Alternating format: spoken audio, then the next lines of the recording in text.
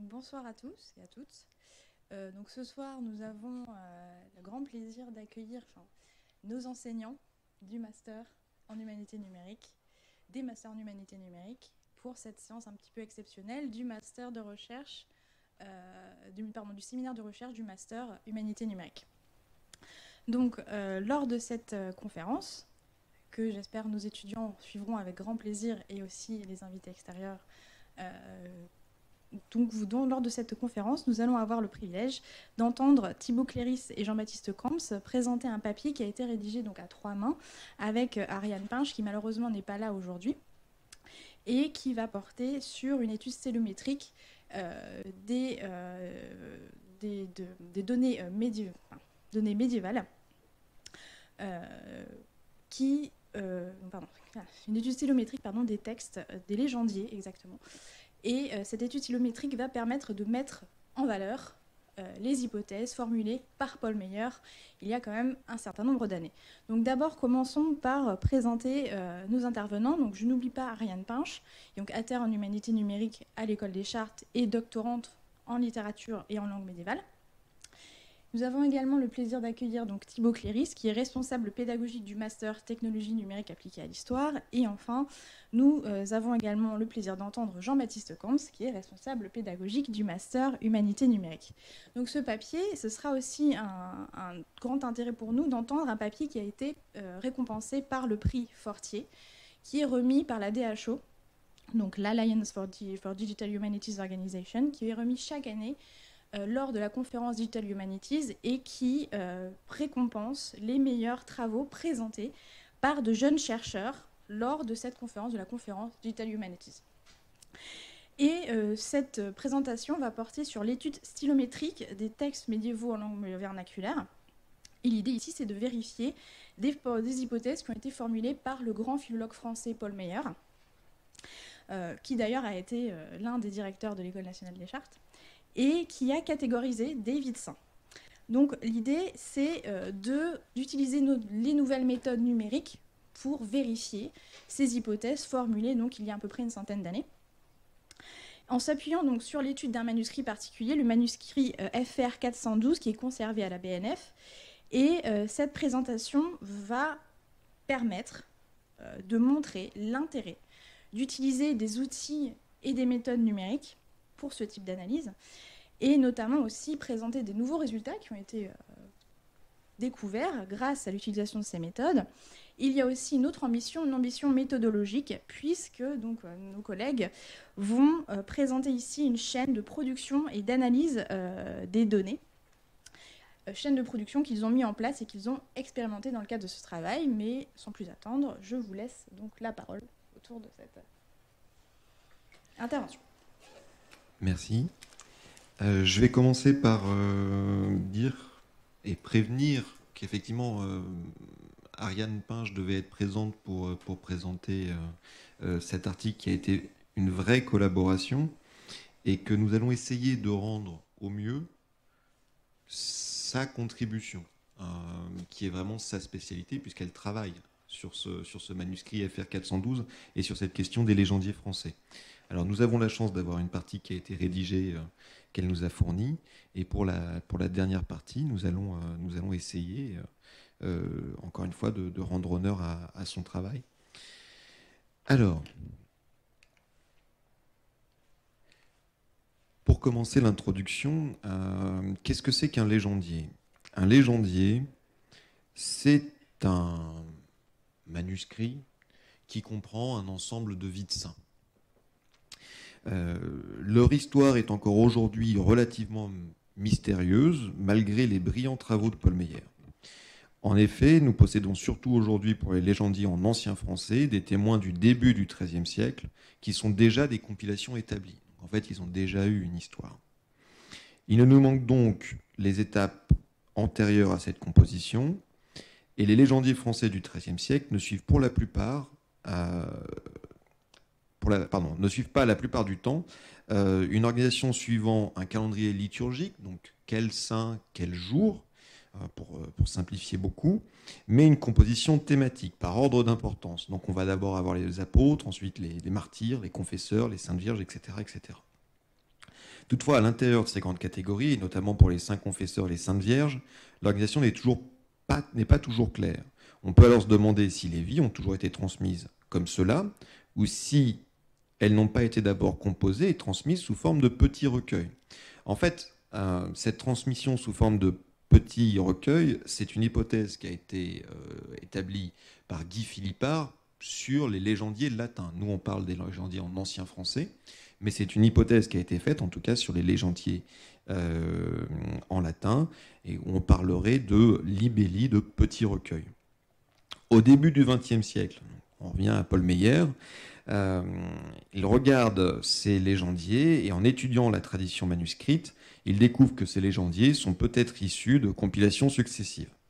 En s'appuyant sur l'organisation des vies dans les compilations, il parvient à classer les différents légendiers en famille en fonction des vies présentes. Donc il va regarder l'ensemble de ces manuscrits, il va regarder quelles vies sont présentes dans quel manuscrit, et à partir de cela, il va avoir un constat qui est relativement tranché, et notamment il va établir trois familles qui nous intéressent aujourd'hui, mais il y en a beaucoup plus, qu'il va nommer A, B et C. La première vie, le premier légendier, le légendier A, c'est la suite, pardon. Le légendier A euh, comprend des vies euh, d'apôtres. Le légendier B, c'est en fait le légendier A plus des vies de martyrs. Et enfin, le légendier C, c'est le légendier A, certaines vies du légendier B et des nouvelles vies, 22 textes, dont un recueil euh, qui s'appelle Lis Saint Confesseur, qui est un recueil de huit vies, qui est attribué à Vauchier de Donat. Ce recueil euh, possède une grande cohérence interne. Il y a un masque 4-4, euh, avec quatre saints de l'ouest et quatre saints de l'est, pour faire assez simple. et il y a une cohérence interne. À l'instar du recueil de Vauchier de Denain, Paul Meyer a eu l'intuition que les grands légendiers français étaient très certainement composés de séries plus petites. Effectivement, si on a tout Paul Meyer dans C, est-ce que finalement on n'a pas d'autres séries d'anonymes qui n'auraient pas été euh, reconnues? Il parvient en observant les vies, regroupées d'un témoin à l'autre, d'une famille à l'autre, à identifier des, sous-séries, notamment de B, euh, une principalement composée de la vie de Saint Sixte, de Saint Laurent et de Saint Hippolyte. Toutefois, en raison de la complexité de la tradition, pardon, euh, la plupart des vies sont anonymes, les légendiers que nous possédons sont issus de compilations successives, il a été difficile pour lui d'aller plus loin. Et c'est ça qui nous intéresse aujourd'hui. À l'ère de l'analyse computationnelle, nous avions envie de voir s'il était possible de tester les nouvelles hypothèses de Paul Meyer et de voir si une analyse stylométrique allait confirmer ou pas les hypothèses de Paul Meyer. Mais nous avions surtout envie d'aller plus loin, d'essayer d'identifier de nouvelles sous-séries, et peut-être ainsi révéler des recueils d'auteurs pour apporter de nouveaux éléments à l'étude de la géographie en langue vernaculaire. En quittant finalement la simple sphère de l'étude du dossier au sujet d'un saint, mais davantage de chercher à comprendre l'originalité du projet géographique médiéval à travers une étude sérielle pour, par exemple, mieux comprendre le projet d'écriture qui a motivé la, la transposition de vie latine en ancien français puisque finalement les vies, de, notamment de, de Vauchier de Denain, ce sont des traductions de Vauchier de Denain, où les sources viennent de différents auteurs. Afin de mettre en place notre étude, nous nous sommes heurtés à un premier problème, comment établir notre corpus? Il n'existe aucune édition d'un légendier complet, et nous avons dû, nous avons dû créer, nous-mêmes finalement nos propres données textuelles depuis le manuscrit. Pour cela, nous nous sommes donc appuyés sur le manuscrit FR 412 de la BNF, représentant la famille C des légendiers français, qui correspond en fait euh, justement à cette succession ABC. Pourquoi? En fait, l'avantage d'avoir Vauchier de Denain, où on sait que les œuvres de Vauchier de Denain sont de Vauchier de Denain, il y a des traces, il y a des signatures. Vauchier de Denain nous permet d'avoir une sorte de validation. Si Vauchier de Denain est rassemblé, logiquement, nos attributions d'auteur sont solides. Nos attributions de sous-groupe. On verra ces sous-groupes un tout petit peu plus tard. Donc ça, c'était une première raison qui était une raison euh, liée à la stylométrie. La deuxième raison, c'est que c'est un manuscrit qui est disponible en haute définition librement sur Gallica, qu'il a été écrit d'une main unique, ce qui veut dire qu'en récupération de texte à partir d'images, Le travail est beaucoup plus facile. Il y a beaucoup moins de biais introduits par le changement de main. Dans la suite de la présentation, nous vous expliquerons tout d'abord comment nous sommes parvenus euh, comment nous sommes parvenus à récupérer les informations depuis ce manuscrit en, limitant le maximum le bruit, puis comment dans l'analyse stylistique nous avons pris en compte les phénomènes de variation inhérents à l'ancien français, euh, qui, je le rappelle, hein, l'ancien français qui est une langue qui n'a pas de graphie fixe et qui est une langue à flexion. Euh, et enfin, dans un troisième temps, nous nous confronterons aux résultats de l'étude stylométrique avec la tradition manuscrite, mais aussi avec la lecture des textes pour essayer de comprendre la cohérence des rapprochements. Alors, cette euh, pipeline d'acquisition de données, elle est euh, assez complexe pour plusieurs raisons. Euh, le texte qu'on va récupérer dans un, dans un manuscrit est sous forme d'image, premièrement, donc il va falloir récupérer le texte. Deuxième problème, euh, il y a les abréviations. Troisième problème, la notion d'espace dans un manuscrit ancien n'est pas la même que celle que nous connaissons aujourd'hui. C'est pas aussi simple qu'une touche espace sur un ordinateur. Euh, quatrième problème, variation de la graphie. Il faut donc normaliser et normaliser en lématisant. Donc, pour donner une idée, le manuscrit FR 412, c'est 961 colonnes qui nous intéressent, 46 lignes par colonne, et il y a en tout 64 textes qui ont été retenus pour l'étude. La source, c'est des images qui ressemblent un petit peu à ça, donc forcément j'ai fait un zoom. Et l'objectif de sortie, c'est quelque chose qui ressemble à ça. C'est-à-dire chaque forme associée à chaque lemme et aussi à chaque pose. On viendra un petit peu là-dessus. Donc, la première chose qu'il a fallu faire, c'est récupérer les images sur triple IF. Bon, ça, ça n'a pas été d'une grande complexité, mais je vous montre un petit peu les différents types d'images qu'on peut avoir. Et on voit tout de suite, puisque la prochaine partie, c'est la question de l'acquisition de texte, qu'il ne s'agit pas des, mêmes problèmes qu'un imprimé. Ce genre de forme pour de l'acquisition de texte, je ne parle même pas des illustrations, euh, pose de vrais problèmes aux machines. D'ailleurs, le premier problème, quand on travaille sur de l'OCR ou de l'HTR, donc l'acquisition de texte, ça va être de retrouver les lignes et d'identifier les lignes. On a utilisé deux outils, on a, évalué plusieurs outils, mais un des outils qu'on a évalué, c'est Kraken. Et ça, par exemple, ce sont les lignes reconnues par Kraken. Alors on voit tout de suite le problème. Beaucoup, euh, de fausses lignes, surtout dans les enluminures. Alors en plus, on a des fausses lignes qui vont euh, s'additionner. Par exemple, ici, là, on a cette ligne, le, le cru euh, Saint-Pierre-l'Apôtre, qui est additionné avec une autre ligne juste ici. Donc on va avoir plusieurs problèmes de, segmentation. On a ensuite vu ces problèmes, voulu regarder ce qui se passait avec Transcribus, et là, bonne nouvelle,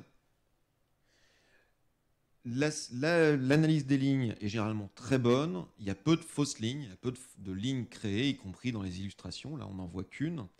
Par contre, bizarrement, alors on n'arrive pas à trouver d'explication pour ça. On essaie de rajouter des marges, mais ça, ne change pas grand-chose. La dernière ligne est souvent fautive. Alors encore une fois, une ligne sur 46 lignes, euh, sur 964 colonnes, c'est pas très grave. Pour l'entraînement, nous avions deux jeux de données, 271 colonnes transcrites par Ariane Pinge dans le cadre de sa thèse. Nous avons utilisé 244 colonnes dans le cadre de l'entraînement, 27 pour euh, le set de développement, euh, en tout cas pour Kraken, puisque les, chiffres sont inconnus pour, euh, Transcribus, et 27 colonnes pour tester. C'est-à-dire a entraîné sur ces 244 colonnes et on a pu avoir des statistiques sur les 27 restantes. Le problème de ce corpus d'entraînement, c'est que le corpus, c'est d'Ariane Pinch, c'est uniquement vos de nains. Or, un OCR va forcément être meilleur sur les parties sur lesquelles il s'est entraîné. Très bien. Si je reviens au tout départ sur le choix de notre manuscrit BNF 412, 412 c'était de dire si vos chiers de Denain marchent, on peut faire confiance à nos résultats. Là, on a un biais de corpus. Si jamais je n'entraîne qu'à partir de vos chiers de Denain, l'OCR est potentiellement meilleur à 10, 20, 30%, on peut imaginer ce genre de chiffre assez facilement. Et donc, forcément, il va reconnaître ça parce qu'il y aura moins de bruit, si vous voulez. Il y aura moins de fausses données qui seront générées par l'OCR. Et donc, les rapprochements auraient euh, de meilleurs résultats sur vos chiens de nains. Donc, pour compenser ce problème, on a utilisé un deuxième corpus d'entraînement qui est euh, composé de 39 colonnes euh, par des étudiants de TNH de, la, de M2 de la promotion de l'année dernière. Dans ces 39 colonnes, il faut noter des problèmes. Il, n'y a que euh, il y a 8 transcriptions différentes de personnes avec des niveaux différents. Ce ne pas, n'étaient pas des spécialistes. Et il y a des incohérences dans la transcription par rapport à celle d'Ariane Pinch. Euh, tout le monde n'a pas utilisé les mêmes caractères pour représenter les S, euh, les S longs, etc., etc.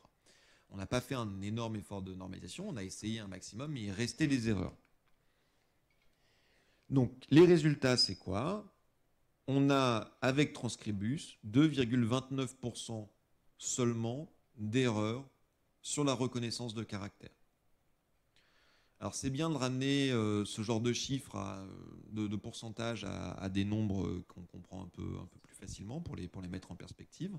Ça veut dire que en moyenne, il y a deux mots, pardon, deux lettres sur 10 qui sont fausses. Il faut vraiment remettre ça en perspective. 80, euh, pardon, deux lettres sur 100, pardon, deux lettres sur 100 qui sont fausses. et quand on a une erreur de caractère euh, qui est basse, ça ne veut pas dire que le nombre d'erreurs par mot est fausse, et, meilleur, pardon. C'est-à-dire que si j'ai 100 mots, il y a plus de chances que j'ai un, taux plus élevé. Au niveau des étudiants, on avait 8,07% d'erreurs, ce qui veut dire quand même qu'on a 92% de réussite. Il hein. faut toujours euh, repenser à l'inverse. Je n'ai pas Euh, ensuite, il y a la question de la segmentation des mots. J'ai pas d'image. Euh, la segmentation des mots dans un manuscrit n'est pas cohérente. Euh, on va avoir, enfin, n'est pas cohérente d'un point de vue moderne. Excusez-moi, n'est pas cohérente d'un point de vue moderne. et il y a surtout quelque chose qui manque par rapport d'un point de vue moderne, c'est les marques d'iphénisation. donc typiquement, un tiré en fin de ligne pour dire que le mot n'est pas terminé.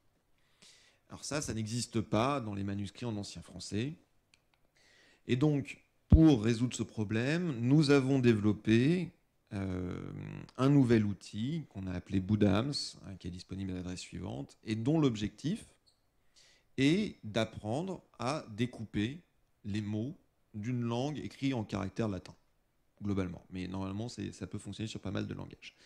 Euh, c'est un, problème qui est assez peu connu dans les, langues euh, occidentales, mais c'est un problème très connu des langues asiatiques. Euh, la question de la segmentation des mots en chinois et en coréen, c'est un, pan entier de recherche, tout simplement parce qu'on a beaucoup encore d'imprimés qui ne présentent aucun espace. Donc on s'est inspiré des recherches qui ont été faites sur ces langues-là, et on a développé cet outil qui nous donne finalement 99,3% de justesse, donc autant dire un assez bon score. Et euh, quand on a regardé ce score, on a évalué d'autres outils un peu plus traditionnels qui fonctionnent avec un système de dictionnaire. Donc globalement, vous enregistrez tous les, tous les mots que vous avez pu voir dans un texte, et puis vous le lancez, euh, vous regardez si ces mots apparaissent, et vous essayez de, voir si, si ce sont les mêmes mots. Bon. Et ça fonctionnait assez bien, 98,5. Donc là, on s'est dit, bah, quel intérêt alors à ce moment-là d'utiliser de l'apprentissage machine, hein, ce, mot vraiment à la mode. Et on a testé sur un autre corpus qu'on a appelé un corpus hors domaine. Qu'est-ce que c'est qu'un corpus hors domaine en machine learning? C'est un corpus qui n'a véritablement rien à voir, à part, euh, dans notre cas, la langue, avec les corpus d'entraînement et de test.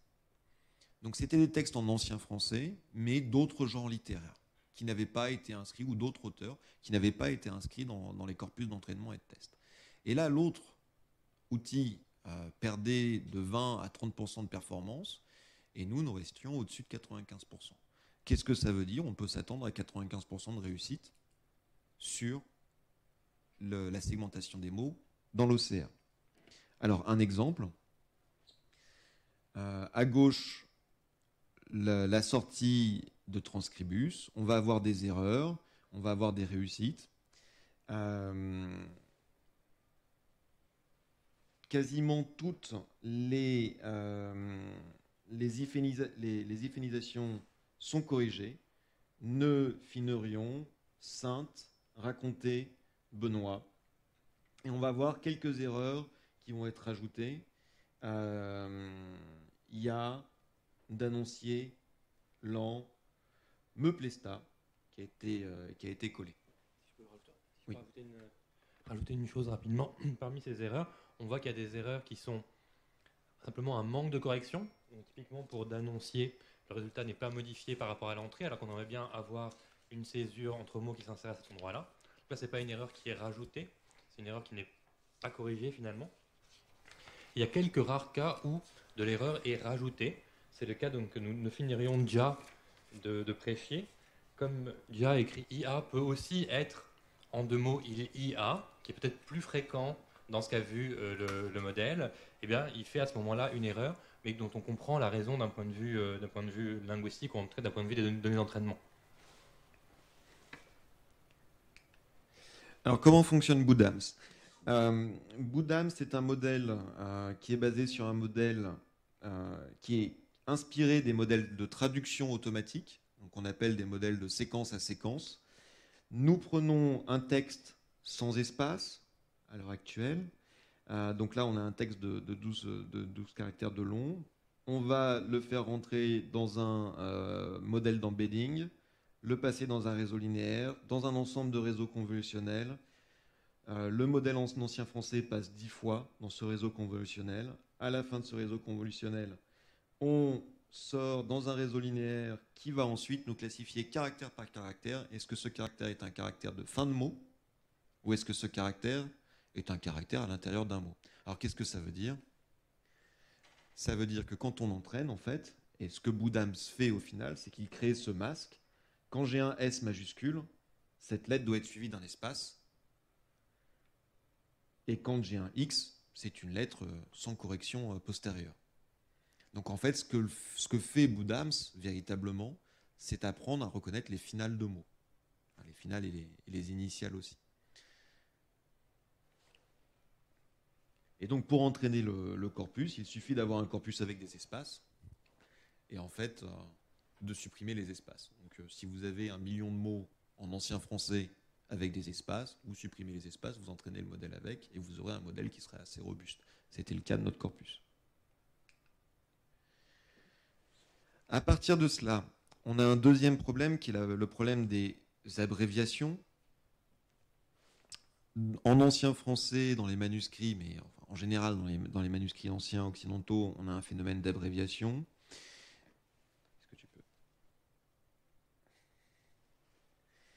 Et pour la normalisation, on a fait le choix d'utiliser un outil de lématisation. Alors, ça partait du, principe euh, suivant les outils de lématisation modernes sont, des, en fait, sont aussi des modèles de, génération de séquences. Et si on y réfléchit bien, en, essayant de s'écarter un tout petit peu euh, des questions de grammaire, mais en parlant de transformation de chaîne de caractères, passer d'une forme fléchie à un lemme est assez parallèle de passer d'une abréviation à une forme étendue. Tout simplement parce qu'en fait, on va reconnaître des systèmes, le Q-bar, etc., et on sait que le P bar, pardon, et on sait qu'il va devoir se résoudre par ER ou, euh, ou d'autres systèmes. Notre euh, sentiment était juste. on a réussi à obtenir 96% de bonnes réussites, 90% sur, 91% seulement sur les termes qui avaient des expansions inconnues, donc qui avaient des résolutions inconnues. Il y avait une forme qu'on connaissait, mais on ne savait pas comment la résoudre. Et 90,72% sur les expansions, euh, les formes qui n'étaient jamais vues pendant l'entraînement. L'externalité positive, c'est que de temps en temps, ça nous a corrigé l'HTR. Donc ça, ça a été quelque chose qu'on n'attendait pas, mais le système a corrigé notre OCR de temps en temps. Alors, pour donner un exemple, ici, on va avoir, alors, corriger des fois normaliser aussi dans ce sens-là, on va avoir v, v à la place de u, les et sont bien reconnus. Ici, le lent va être normalisé avec une apostrophe. Et j'ai pas d'autres exemples. Voilà. Donc c'est alors c'est aussi un manuscrit qui comporte finalement assez peu d'abréviations, mais le peu ont été assez bien traités. Ensuite, nous avons euh, lématisé. Donc je rappelle que la lématisation consiste à partir d'une forme et de revenir à une forme canonique, alors généralement une forme d'entrée de dictionnaire, pas nécessairement. Euh, pour euh, prendre un exemple en français moderne, généralement on lématise en prenant l'infinitif des verbes. Donc si jamais je trouve la forme mangeons, je vais dire que son lemme c'est manger, ER. La raison pour laquelle on passe par ce genre d'étape, c'est tout simplement pour euh, diminuer le bruit statistique. Si je prends toutes les formes de manger comme des formes individuelles, finalement, euh, je ne prends pas en compte manger lui-même. Je prends en compte les statistiques de mangeons, je mange, tu manges, mais pas manger. Donc en retournant à cette forme originelle, je vais pouvoir faire ce genre de compte. en ancien français, qui a entraîné sur des corporats de l'école des chartes uniquement, on obtient au moment de l'analyse de l'article, on a des résultats qui ont un tout petit peu changé, mais ce n'est pas très important, c'est ceux de l'article qui sont le plus importants. 96,38% de réussite. Euh, alors, ce qui est compliqué en ancien français et, euh, dans les langues euh, médiévales, ça va être effectivement cette graphie qui peut être très changeante. Et historiquement, ce qui se passait dans les lématiseurs, c'est qu'on avait des lématiseurs à règles. je vais reprendre l'exemple de manger. Si je trouve quelque chose qui finit par ONS, il y a des chances que je puisse le supprimer et de voir si en rajoutant un R, j'ai un lemme qui convient. Donc ça, c'est un système de règles. En passant sur des systèmes euh, de machine learning, ce que ça nous permet de faire, c'est que ça permet de couvrir les règles ou les lemmes qui n'existeraient pas. Alors typiquement, si aujourd'hui j'ai un lemmatiseur à base de règles et que je découvre le mot nous tweetons, il y a des chances que le dictionnaire, si le lemmatiseur a été fait il y a 20 ans, ne trouve pas ce lemme. Un lemmatiseur du type de paille aura compris que quand on a un ONS, on l'enlève, on rajoute un R, et on verra plus tard si ça existe. Et dans ce genre de situation, on a 72,90% de réussite. Alors le, le troisième problème, plutôt, c'est les formes qui sont complètement inconnues. Euh, donc des changements de graphie. Et là, les, chiffres baissent un tout petit peu, 64,29%. Euh, ça reste quand même meilleur que le reste des, des lématiseurs qui sont disponibles. Alors le type de résultat, c'est cela. À gauche, le texte qu'on avait euh, après Boudam, c'est la normalisation. À droite, le texte final. À 3, donc il y a plusieurs lemmes A, donc on les identifie par un, identifiant numérique. Lors 2, V1, recompter, S, décrire, no, et on voit qu'on a perdu les flexions. Finerion est devenu finaire, euh, Préchier est devenu Préchier sous sa forme de lemme, etc., euh, etc. Et on voit qu'il y a des erreurs. Par exemple, d'annoncier a peu de chances de devenir dancier. Je parle sous le... Sous le... Oui, j'ai raison. Alors, plus on ajoute des couches successives à 90%, plus on amène un risque d'arriver à quelque chose qui est finalement pas si fidèle au texte d'origine. Donc, dans le cadre euh, de la rédaction de l'article, on s'est dit qu'il fallait quand même mesurer cet impact. Et on a eu des bonnes nouvelles finalement, puisque euh, l'impact est finalement assez faible quand on parle des lemmes. Pourquoi? Ce qui nous intéresse pour la stylométrie, Jean-Baptiste Camps l'expliquera un petit peu plus, ce n'est pas l'ordre des mots, c'est combien de fois les mots apparaissent. Or, autant l'OCR a une fâcheuse habitude d'ajouter des caractères ici et là, un petit i, euh, ce genre de choses, autant euh, il y a pas mal de mots qu'il reconnaît assez bien, surtout en milieu de ligne. Et quand on regarde ce genre de choses, on se rend compte qu'on a, en prenant en compte toute la chaîne de traitement, 10% de différence sur les lemmes qui nous intéressaient, c'est-à-dire les lemmes qui apparaissent le plus. Donc de l'OCR à la lemmatisation, on a 10% de différence de présence sur Saint-Martin, qui est un des textes les plus longs, et en moyenne 9,02%. Donc 91% des, des lemmes apparaissent le même nombre de fois. apparaissent 91% de fois à peu près la même chose. Par contre, les POS, donc les part of speech, globalement, euh, quelque chose entre la nature et, la fonction pour, pour, de la grammaire française, c'est-à-dire qu'on va avoir nom, mais on va avoir verbe et verbe conjugué. Euh, les poses, elles, nous, enfin, en, stylométrie, nous intéressent dans leur ordre. Donc on va regarder trois poses par trois poses. J'ai une série article, nom, verbe, hein, pour sujet-verbe. Article, nom, verbe. Mais là, j'ai des chances d'avoir des changements. Et là, on s'est rendu compte que les chiffres étaient beaucoup moins bons, puisque même en conservant ceux qui sont ceux qui nous importent le plus, on va avoir un delta de 34,90%. Voilà. Euh, pour l'acquisition, maintenant, je laisse la parole euh, à la stylométrie. Merci Thibault. Alors, passons à notre deuxième partie qui est la configuration de l'analyse stylométrique, sans plus tarder. Alors, Thibault l'a déjà euh, amplement évoqué. Un des problèmes principaux qu'on rencontre euh, dans ce corpus spécifiquement, c'est la question du bruit. Notre défi principal, c'est la gestion du bruit. Et il y a différents types de bruit que nous devons prendre en compte.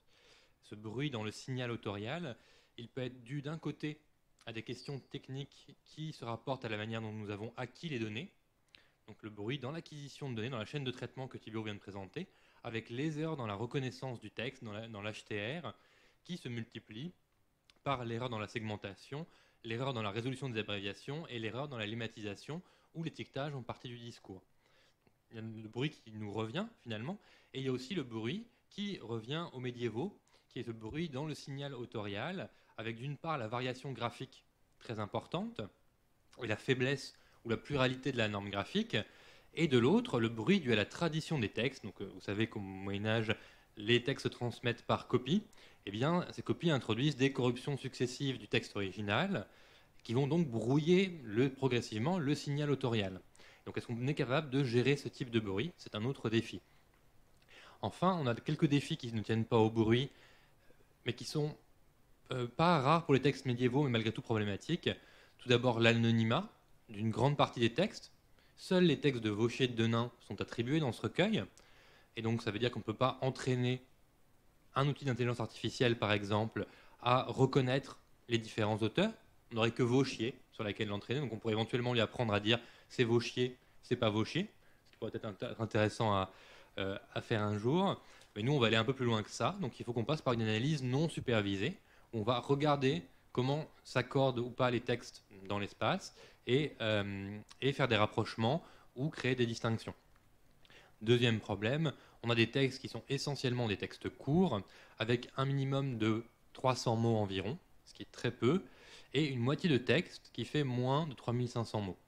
Le problème de ces vies de sein, c'est qu'elles sont vraiment brèves, ce qui va nous causer des, des problèmes. Alors, est-ce que la stylométrie peut gérer correctement le bruit? C'est une question que se sont déjà posées des chercheurs, notamment Massey Eder, qui a publié là-dessus un article en, 2013 et qui a voulu tester, avec notamment les textes médiévaux en tête, à quel point on pouvait retrouver quand même le style en dépit de différents types de bruit qu'on pouvait avoir dans les textes. Il a testé trois types de bruit la variation graphique, le bruit dans les fréquences et la substitution de mots. Pour le premier type, la variation graphique, il a remplacé aléatoirement des lettres euh, dans un texte, progressivement. Au début, il n'y a aucune lettre remplacée, à la fin, il y a 100 lettres remplacées. 100% des lettres qui sont remplacées, et il regarde quelle est la fiabilité d'attribution euh, qu'il obtient.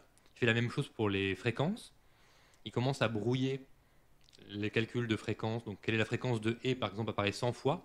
Et ben, il va voir si en le faisant apparaître 101 fois, ça biaise le résultat ou pas. En le faisant apparaître 110 fois, 150 fois, et ainsi de suite.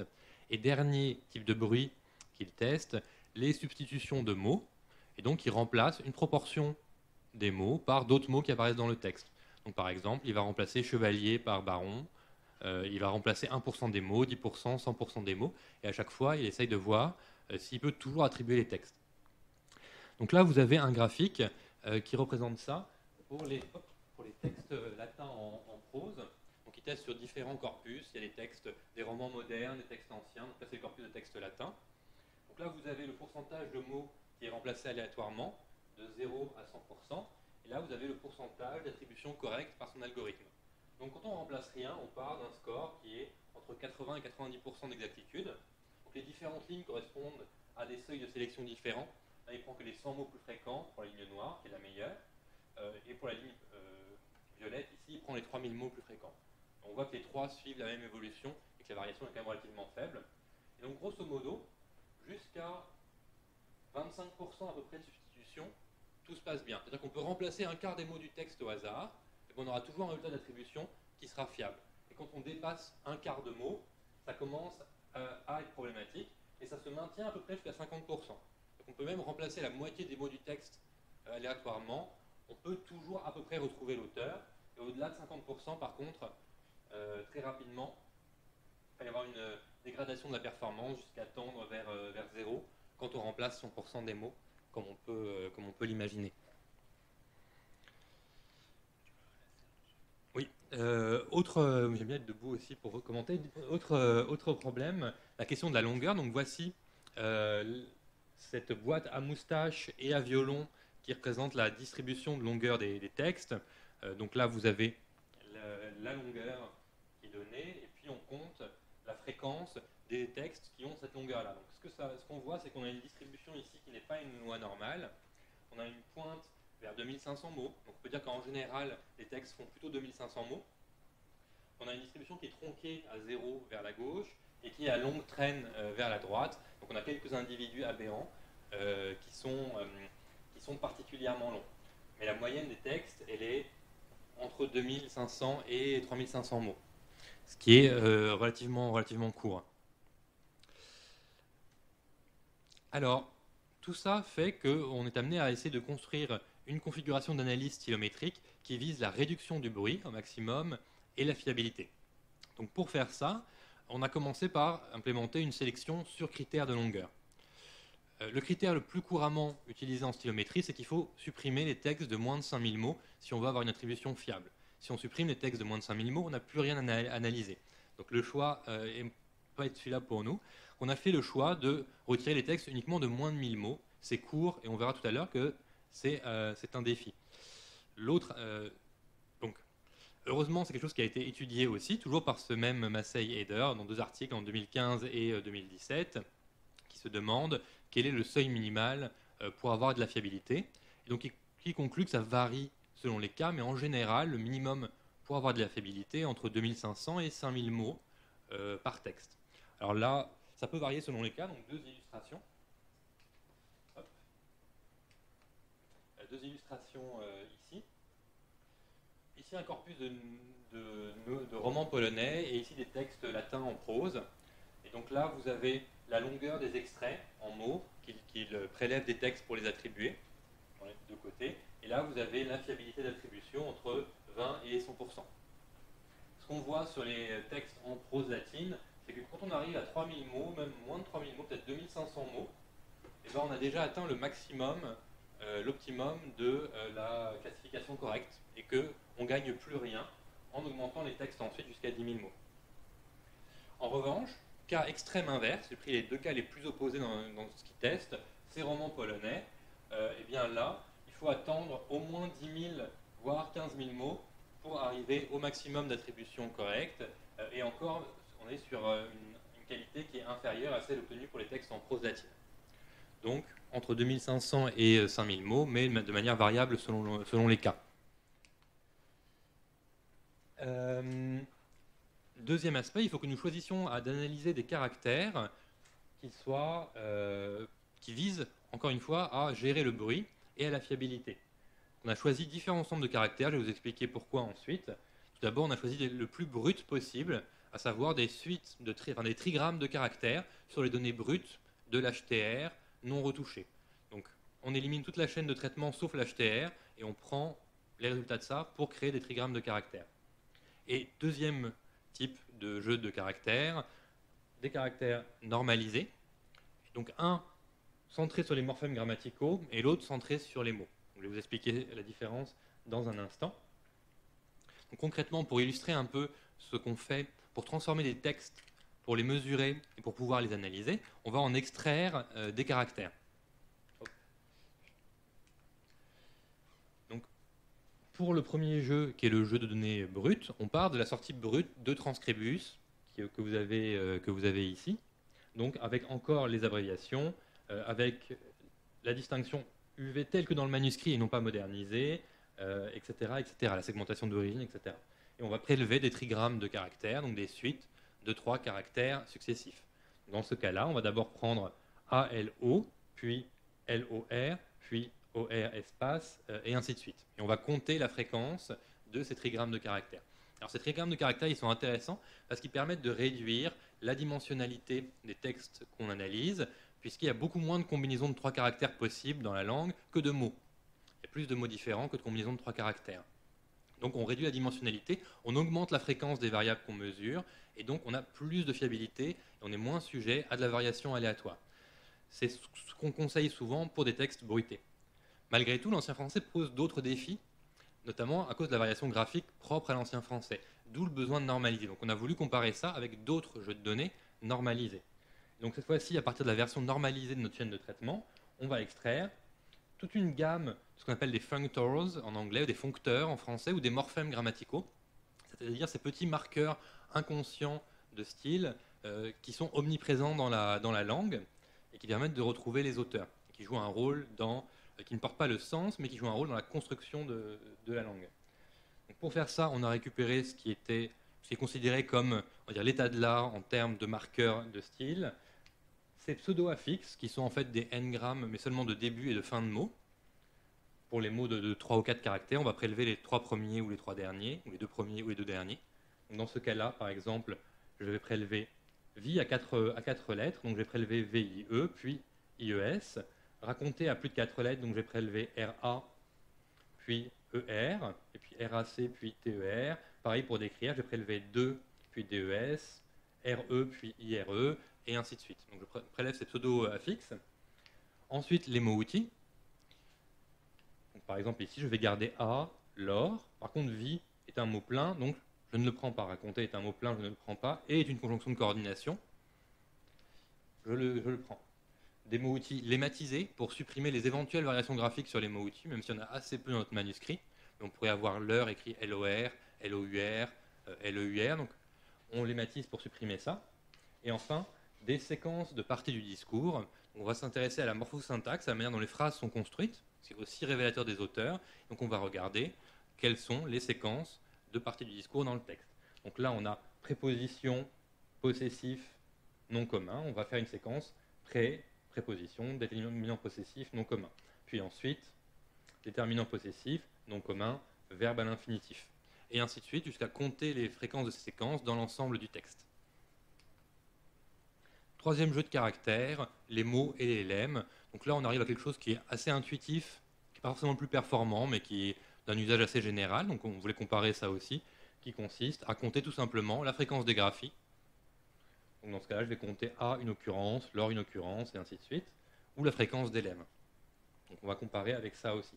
En prenant à chaque fois différents points de mesure, euh, ce qu'on a cherché à faire, c'est d'augmenter la fiabilité des analyses en multipliant les points de mesure. Comme les extraits sont courts, on a envie d'augmenter entre guillemets la donnée, et on l'augmente en la mesurant de différentes manières. Donc en mesurant à la fois les mots-outils, les affixes, les séquences de poste, eh bien on augmente les points de mesure et théoriquement on augmente les chances d'attribution correcte. En outre, comparer ces trois jeux de données, ça permet aussi d'augmenter la fiabilité des, résultats ou leur robustesse, puisque si les trois analyses nous disent la même chose, ça a de bonnes chances d'être le résultat euh, correct. Voilà ce, que je viens de, ce que je viens de vous expliquer euh, essentiellement. Sur la question des morphèmes grammaticaux, euh, vous pouvez vous reporter, si vous voulez en savoir plus, à l'article de Mike Estemont en 2014, Function Words Attribution from Black Magic to Theory, qui théorise justement l'intérêt de ces euh, morphèmes grammaticaux dans l'attribution des, textes. Sur la question des n-grammes de caractères pour les corpus bruités, eh l'article de Franzini et al. sur qui est assez proche de ce que nous faisons, mais qui travaille, eux, sur la correspondance numérisée des frères Grimm, euh, sérisée des frères Grimm, HTRisée, euh, préconise cet euh, euh, instrument. Alors ensuite vient la question de la normalisation. Je vais essayer de passer peut-être plus rapidement là-dessus. la sélection, elle va viser toujours pour augmenter la fiabilité à éliminer les caractères qui ne sont pas, qui ne sont pas fiables. Qu'est-ce qu'on fait pour ça? On a utilisé tout simplement un critère d'ordre statistique qui est celui qu'on utilise dans les enquêtes. si on, par exemple on veut savoir que vont voter les gens en municipal, euh, si je veux avoir une chance de pouvoir donner une intention de vote avec telle marge d'erreur et tel intervalle de confiance, si je veux pouvoir dire 15% plus ou moins 5% euh, à 90% euh, de, de, confiance, j'ai besoin d'avoir une taille de population qui soit au moins égale à un nombre donné d'individus. On peut faire la même chose pour les mots. On a envie que si on compte mettons 3% d'occurrence de et, eh ben on ne soit pas trop loin de ce qu'on aurait si on avait un texte plus long et si on avait la probabilité théorique de l'apparition de et dans la langue d'un auteur. Donc pour faire ça, on ne garde que les fréquences pour lesquelles la taille d'échantillon minimum que l'on a, le texte le plus court que l'on a, est suffisant pour approximer la probabilité théorique avec 90% de confiance dans une marge d'erreur qui est de plus ou moins deux écarts types. Ensuite, normalisation, des z-scores et des normalisations de longueur. Euh, un mot, euh, mot là-dessus. Pourquoi des z-scores? Donc les z-scores, ça revient à compter de combien d'écarts types une valeur s'écarte de la moyenne. Donc l'idée, c'est que ce qui m'intéresse, c'est pas qu'il y ait 50 occurrences de et dans un texte et 40 dans l'autre euh, et 30 dans un troisième, c'est de savoir que si j'ai 50 occurrences, eh j'en ai 10 de plus que la moyenne normalisé par, euh, l'écart type. Pourquoi? Parce qu'on ne veut pas que les mots qui sont, très fréquents comptent plus dans le calcul que les mots plus rares. On veut que tout soit rapporté, d'une part centré sur la moyenne, et d'une part normalisé par l'écart type pour ne pas survaloriser les, quelques mots les plus fréquents. on s'intéresse à la variation plutôt qu'aux valeurs absolues, euh, et on tient compte de la loi de Zipf et la distribution des fréquences des mots dans la langue. Autre problème, la normalisation de longueur la relation entre la longueur d'un texte et la fréquence d'apparition d'un mot donné n'est pas linéaire, puisque la, relation de la longueur du texte avec la richesse lexicale n'est pas linéaire non plus. Ce qui veut dire que même si on prend des fréquences relatives, eh bien, des textes qui n'ont pas la même longueur initialement vont, ne vont pas tout à fait se comporter de la même manière. Donc pour corriger ça, on normalise les coordonnées dans l'espace des mots pour avoir des vecteurs de longueur 1. C'est ce que vous avez euh, ici. Concrètement, hein, toutes ces méthodes symétriques reposent sur une métaphore géométrique, si vous voulez. On place les mots en fonction des fréquences des caractères qui nous intéressent dans un espace de n dimensions.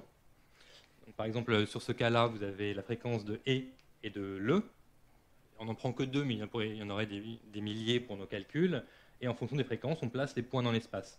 Et donc, un des objectifs des normalisations, c'est de faire en sorte que la distance entre l'origine et le point représentant le texte soit de 1 ce qui permet ensuite de prendre une mesure de distance comme celle de Manhattan qui, euh, ne soit pas biaisée par ces, variations de longueur.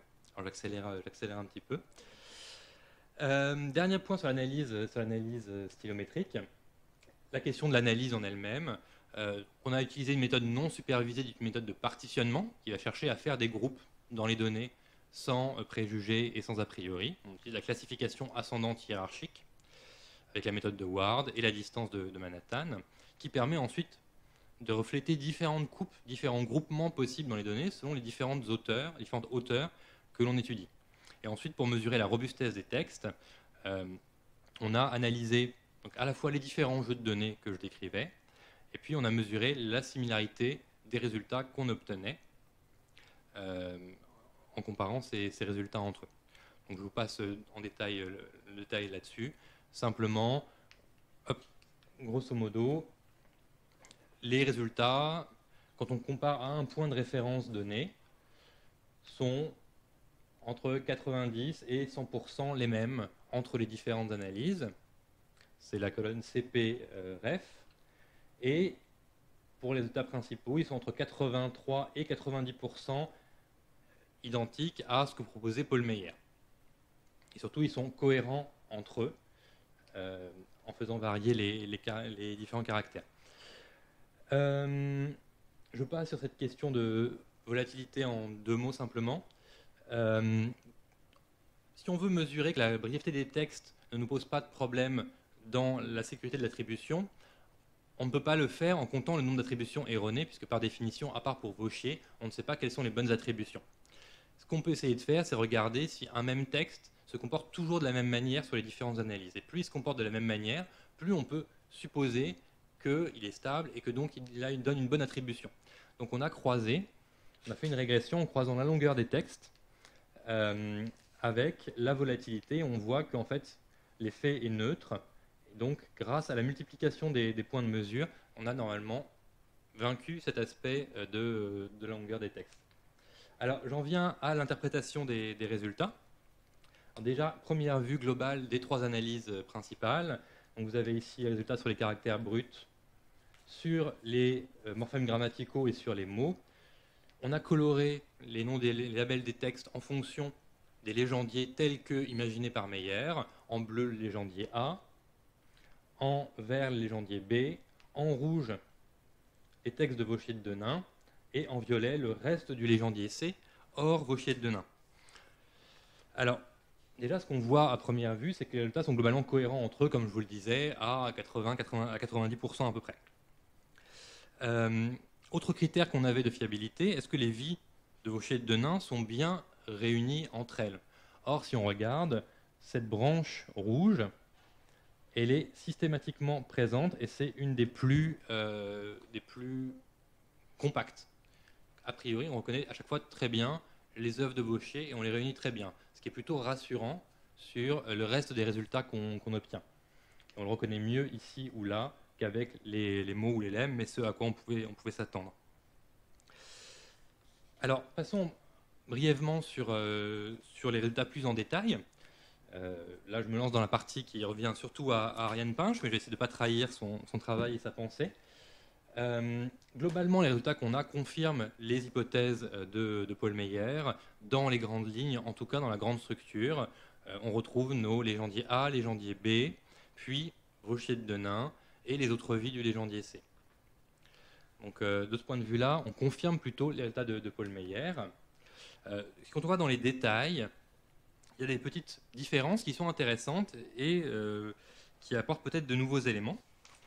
Euh, donc dans la famille des, légendiers A, Paul Meyer avait identifié un groupe de 12 textes. Euh, et selon nos analyses, on retrouve bien deux sous-séries euh, dans ces textes. Une regroupant les apôtres majeurs, qui revient dans d'analyse en analyse, avec un petit peu deux séquences à l'intérieur de, ce premier groupement. Et un autre groupe, lui aussi assez cohérent, qui regroupe les vies des apôtres mineurs. Une différence malgré tout qu'on a avec euh, euh, les, résultats de Paul Meyer, c'est que la vie de Saint-Longin n'est jamais chez nous regroupée avec le légendier A, mais avec le légendier B. On retrouve ici, c'est le légendier A chez Meyer, mais chez nous ça tombe dans le légendier B. Alors est-ce que c'est Meyer qui a raison ou est-ce que c'est nous ou est-ce que c'est aucun des deux? Euh, thématiquement, la, vie de Saint-Longin n'est pas très cohérente avec les vies d'apôtres qu'on a dans le légendier A. Et ensuite, si on regarde la tradition manuscrite, la, vie de Saint-Longin n'apparaît avec les vies du légendier A que dans un seul manuscrit, qui est le français 23686, qui est celui que Paul Meyer a utilisé comme base pour l'étude de A. Et ce n'est pas un phénomène qu'on retrouve dans les autres manuscrits de ce légendier. Donc a priori, c'est peut-être euh, une erreur euh, de, sa part. Peut-être qu'on peut proposer cette modification. Alors, légendier euh, B, je continue rapidement. Donc, dans le manuscrit 412, on a 16 vies qui correspondraient au légendier B de, de Mayer. on retrouve bien une série de 12 vies dans nos arbres, parmi lesquelles on peut aller peut-être jusqu'à déceler trois sous-séries. Une première qui regroupe donc Longin, Sébastien et Vincent une série de saints martyrs romains, peut-être avec Sixte, Laurent et Hippolyte, peut-être Pantaléon, et euh, surtout une, euh, une, série de vies de, vie de saintes, de saintes martyrs, qui est un des plus stables dans nos résultats, qu'on retrouve dans la plupart des arbres, euh, qui ressort à peu près au même niveau que le recueil des vies de Vauchier de Denain, et dans lequel on retrouve les vies donc de Agathe, Luce, Agnès, Félicité, Christine et, et Cécile. Quand on regarde les textes plus en détail, on a des liens qui sont faits à l'intérieur des textes entre ces différentes, euh, ces différentes vies. Le texte de la vie de Sainte Lucie la place comme l'héritière euh, d'Agathe. C'est deux saintes d'ailleurs qui deviennent de Sicile, toutes les deux originaires de, Sicile. Euh, la vie d'Agnès commence à Rome, là où s'arrête celle de Lucie. Et on trouve des similarités thématiques également à l'intérieur des, œuvres. donc je ne rentre pas dans tous les détails, mais en tout cas, on a un groupement qui paraît à la fois thématique et lié par des éléments qui font sens dans la séquence qui représente les, textes. Euh, la, famille, euh, C euh, à présent, donc déjà sur la famille C, qui n'a pas d'organisation apparente évidente, on, retrouve une opposition entre Vauchier et les autres. à l'intérieur des autres vies, il est plus compliqué d'identifier des sous-séries. Il était aussi, pas pour nous, mais pour Paul également on retrouve malgré tout quelques petites séries ponctuellement à l'intérieur de, C. Plus ponctuelles, mais je ne m'arrête pas trop là-dessus pour en venir au dernier point, au dernier point des résultats, qui est euh, plus surprenant, qui est un rapprochement entre un texte supposé anonyme, la vie de Saint-Lambert de Liège, euh, et le recueil de Vauchier de Denain. Un recueil qui, comme je disais, ressortait très bien sur les différentes analyses. Normalement, Saint-Lambert fait partie de B, mais dans, nos arbres, il ressort tout le temps, systématiquement, euh, ou presque, avec Vauchier de Denain. Alors le rapprochement est étonnant parce que la lecture du texte ne donne pas beaucoup d'éléments permettant d'expliquer cette, euh, similarité. Euh, d'après Ariane, donc la vie de Saint-Léger ne possède pas les marques distinctives, à la lecture en tout cas, de Vauchier de Denain, de son style. On n'a pas de mention de l'auteur dans le texte, alors que Vauchier se mentionne en général. Euh, on n'a pas que certains autres traits typiques de son écriture, comme l'insertion de vers moralisateurs dans la prose. On n'a pas de référence à la cour de Flandre ou aux mécènes de, Vauchier. Les seuls rapprochements possibles sont géographiques euh, entre Saint-Lambert de Liège et Vauchier de, Denain, qui euh, orbitaient dans des cercles proches de Namur. Donc il y a peut-être un rapprochement géographique qui peut, qui peut être fait, quelques rapprochements thématiques plus faibles aussi, le fait que Saint-Lambert, comme Saint-Martin ou Saint-Martial de Limoges, soient des évêques alliés du, pouvoir, euh, peut être un élément permettant de rapprocher aussi ces, textes. Oui. Euh, une possibilité qui avait été annoncée, euh, mais qui est vraiment un peu finalement la, seule explication qui pourrait l'hypothèse qu'on pourrait porter et qu'on ne soutient pas tant que ça, parce que finalement on n'a pas beaucoup d'arguments, c'est de se dire peut-être que cette vie de Saint-Lambert est un texte de Vauchier jeune, pour faire simple. Une des premières traductions de Vauchier de Denain. Encore une fois, ça se trouve, il est juste rapproché parce qu'il n'arrive pas à se rapprocher des autres textes. Mais c'est aussi quelque chose qui arrive souvent. Saint-Lambert est quasiment toujours fixé à Vauchier de Denain. Donc c'est pour ça qu'on a vraiment dû se poser la question pourquoi il est là?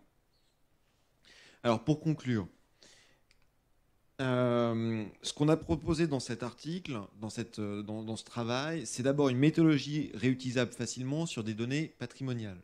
Euh, cet article, cette recherche aurait été complètement impossible sans la capacité, l'accès à des données patrimoniales de manière ouverte. Il n'y aurait pas eu Gallica avec son serveur IIIF, cette recherche n'existait pas.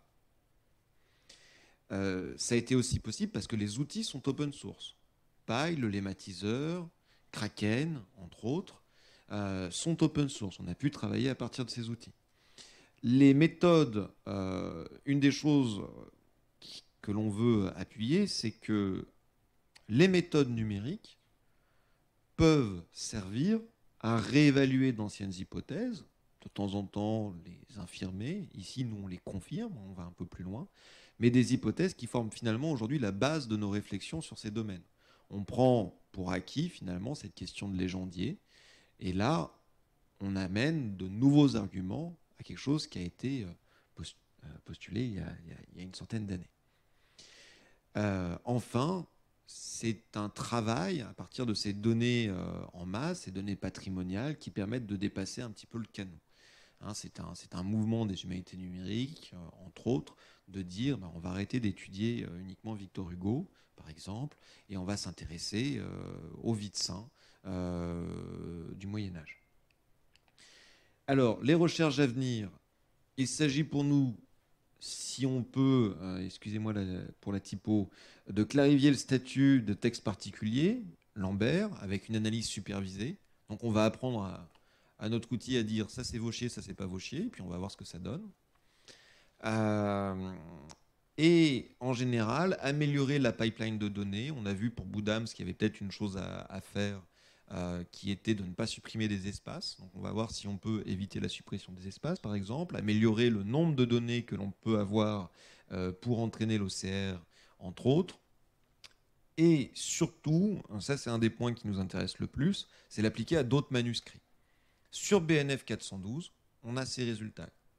Est-ce que pour les résultats sur A et B, on obtient les mêmes résultats en appliquant cette chaîne de recherche un légendier B, un exemplaire du légendier B Si oui, à ce moment-là, on peut véritablement faire confiance à ces résultats.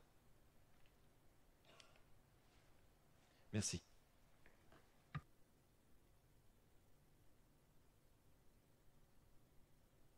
Je vous remercie beaucoup pour cette intervention euh, qui a été tout à fait, à pédagogique qui a bien présenté la manière dont on pouvait appliquer des études stylométriques, notamment à des textes médiévaux, mais plus largement à d'autres types de textes euh, écrits. Et euh, sans plus tarder, car nous avons peu de temps, puisque nous allons devoir terminer la séance un peu plus tôt, parce que l'école ferme à 19h30. Donc on se laisse, on va dire, jusqu'à 19h20 pour la séance des questions. Donc je passe d'abord la... je passe d'abord le micro à la salle, s'il y a des questions. Sinon, j'ai des questions. évidemment. Alors, pour un petit peu lancer la discussion, moi, ce qui m'intéresse beaucoup, parce que même je suis pas médiéviste, mais j'ai trouvé votre intervention passionnante, dans le sens où vous proposez une méthodologie qui me semble en effet applicable à d'autres euh, types de textes. Que disait Thibault, donc l'idée de dépasser le canon, notamment, euh, ça peut s'appliquer donc tout à fait à d'autres périodes. Et euh, mon idée, c'est en fait comment avant que vous commenciez ce travail, est-ce que vous aviez pu vous baser sur des travaux antérieurs Est-ce qu'il y avait vraiment euh, des débuts de standardisation de ce type de méthodologie, ce data pipeline, ce pipeline de données? Et euh, qu'est-ce que euh, ce travail a apporté en fait à cette méthodologie? Qu'est-ce que vous avez pu ajouter pour votre travail? Alors sur ce point, je pense que les, précédents qu'on peut citer, c'est ils sont doubles.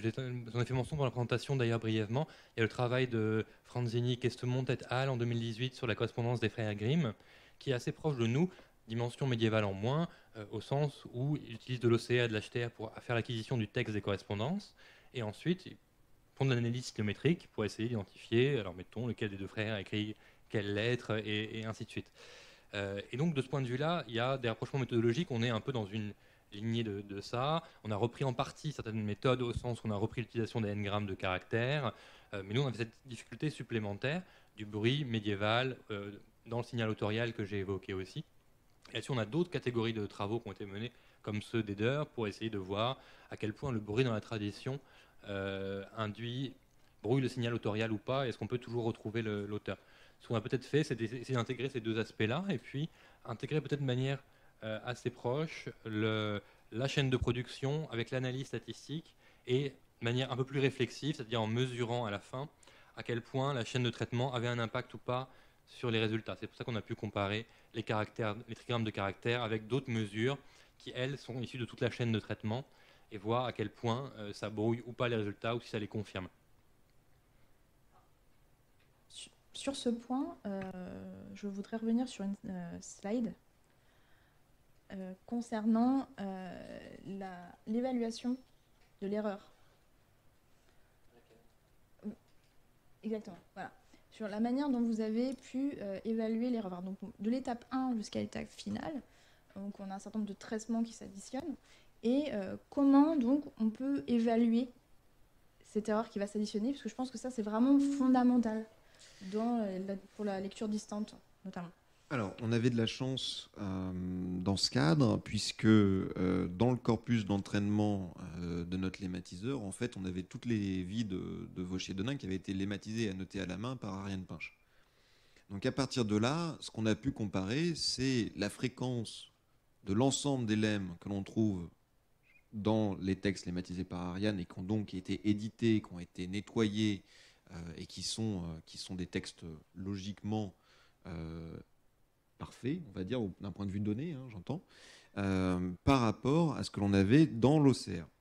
Alors pour faire, pour faire ce calcul, on a fait tout bêtement une, moyenne hein, de la fréquence de ces termes, par, de, de, la différence, pardon, on a, calculé la, différence de fréquence des termes sur l'ensemble de la fréquence de tous les mots.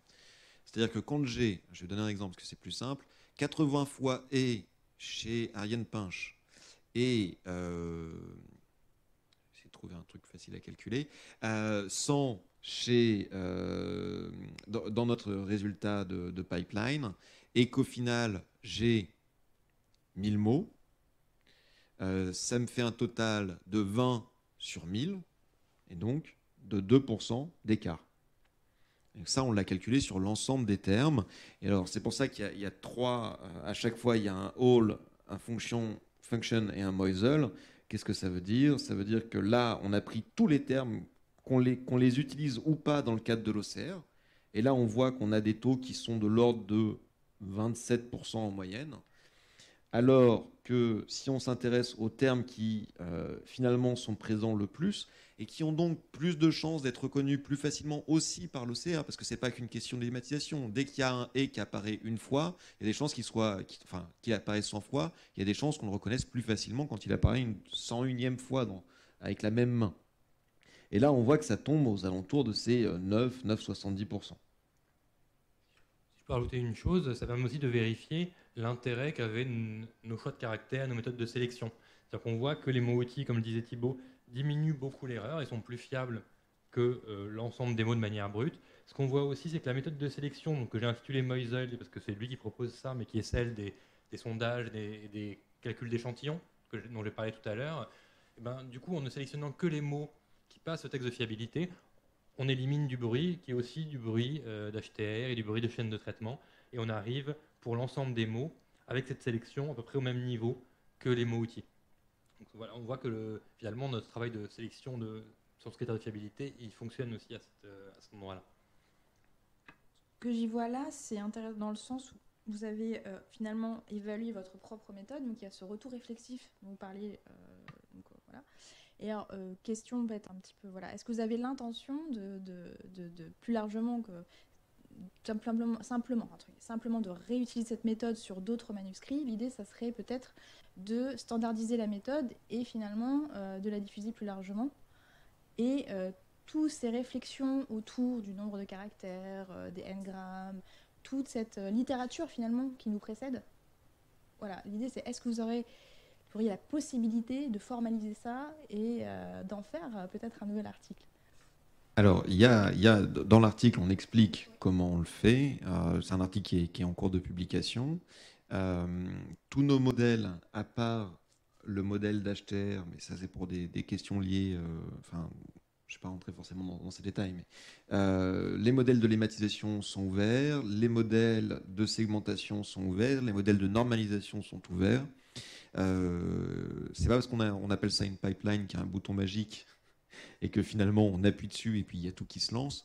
Euh, c'est une série de commandes. Alors euh, du coup on les a assez bien décrite et puis on fournit les, éléments avec pour que ce soit réplicable et, réutilisable, voire surtout extensible euh, à d'autres matières. On pourrait très bien faire ça sur des manuscrits latins finalement.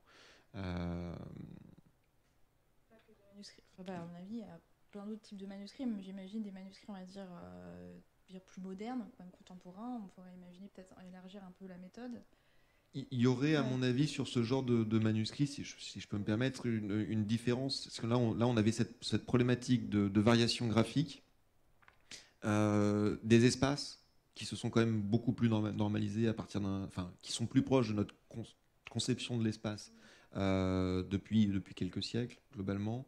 Euh, et les abréviations. Alors les abréviations, on en rencontre dans des lettres, des fois dans des notes de cours, euh, mais finalement, euh, il y a assez peu de documents modernes qui comportent des abréviations.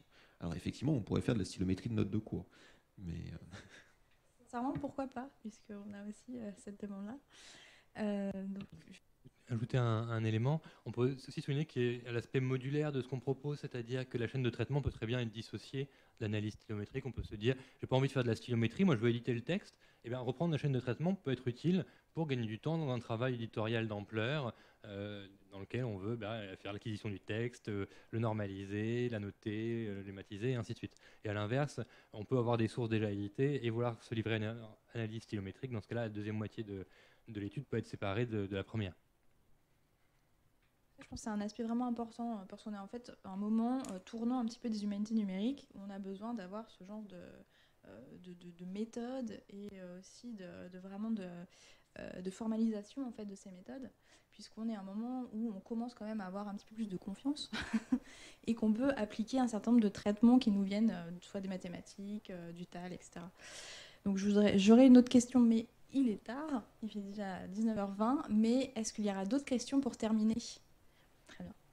Intuitivement, on a envie de dire les mots et les lemmes non triés sont plutôt thématiques, les morphèmes grammaticaux éventuellement sont plutôt autoriaux, et les trigrammes de caractères sont entre les deux parce qu'ils vont capturer du contenu autant que euh, du grammatical. En fait, globalement, euh, dans un cadre si peu supervisé que le nôtre, c'est très difficile à dire et on a du mal à distinguer un rapprochement qui serait thématique qu'un rapprochement qui serait autorial ou, troisième hypothèse médiévale, euh, plus spécifiquement médiévale, d'un un rapprochement dû à une étape intermédiaire de la tradition entre l'auteur euh, et le légendier qu'on conserve. C'est-à-dire qu'on peut aussi garder des traces d'une compilation, de l'intervention d'un scribe, euh, et ainsi de suite, et ainsi de suite. Donc tous ces rapprochements sont un peu s'entremêlent, et on a du mal à déterminer, euh, à, distinguer tout ça. Alors pour, pour partie, ces choses-là fonctionnent dans le même sens, à savoir pour Vauchier de Denain, on a à la fois un auteur, on peut imaginer qu'on a une tradition qui est, qui est similaire, euh, qu'on a à un moment une compilation qui est propre, etc., etc. Donc tout ça va dans le même sens, mais ce n'est pas forcément le cas pour tout. Et donc c'est une, des limites des, choses. L'avantage d'utiliser une classification ascendante hiérarchique, typiquement, c'est que différents niveaux de coupe peuvent, euh, bon, c'est pas très grave de ne pas la rafficher, mais différents niveaux de coupe peuvent refléter différents types de, euh, de séparation. C'est assez net si on fait par exemple aussi de la dialectométrie ou de la scriptométrie, où on peut voir des coupes qui sont des différences de dialectes, un haut niveau, puis ensuite des coupes qui sont des différences thématiques à l'intérieur d'un même dialecte. Donc on peut imaginer que certaines de ces coupes sont de l'ordre de la compilation de la tradition et d'autres, plus fines, sont de l'ordre de l'auteur. Mais c'est difficile de dire que euh, à ce niveau-là c'est l'auteur et à ce niveau-là c'est la tradition. Ça c'est ça qui est très compliqué à, très compliqué à faire.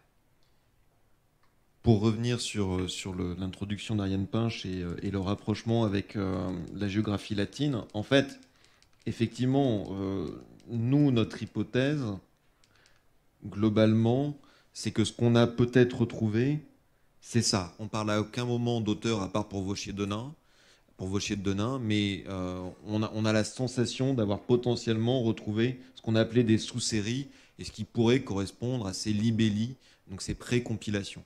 À aucun moment, à part pour Vauchier et Saint-Lambert, où on se pose cette question. Euh, généralement, on se pose plutôt la question de pré-compilation des fois, on a des rapprochements thématiques, mais on avait vu ce, rapprochement de vie de sainte, où en fait, derrière ça, quand on commence à lire ces vies de sainte, on se rend compte qu'il y, a une suite, il y a une progression narrative. Et donc, qui dit progression narrative dit très certainement rédaction, euh, rédaction commune. Ou compilation. Ou compilation. en tout cas, il y a une volonté à un moment. merci beaucoup. Je pense qu'on va devoir, euh, à part s'il y a une dernière question, rapide. Donc euh, merci beaucoup euh, pour votre attention et je pense qu'on peut bah, remercier nos intervenants et aussi Ariane Pinche qui malheureusement n'a pas pu être là. Euh, pour moi c'était une intervention passionnante qui montre les apports des humanités numériques et ce que vous l'avez dit. Donc en conclusion, vérifier des hypothèses sur lesquelles on se base sur des travaux actuels, donc extrêmement important. Et aussi donc j'espère que ça incitera un certain nombre d'entre vous à faire ce genre de travaux, c'est travaux peut-être stylométriques, utilisant le data pipeline tel qu'il a été proposé par nos deux intervenants. Donc merci beaucoup.